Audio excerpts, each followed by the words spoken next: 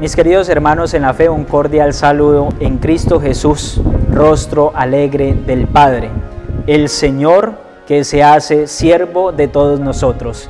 Y desde esa dinámica, qué importante que nosotros vivamos en el servicio, en la servidumbre, en ser siervos para los demás.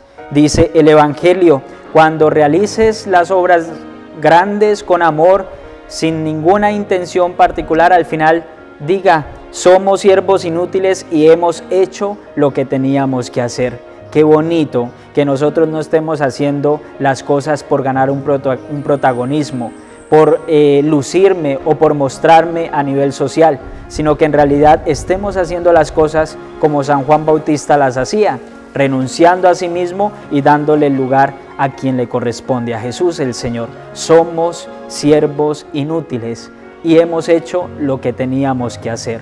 Hoy te invito a que crezcas y yo, el primero también, a crecer en la humildad, en el servicio y dejarnos pues apasionar por ese mismo servicio que acompañó a Jesús nuestro Señor, auténtico siervo de la humanidad. Dios los bendiga.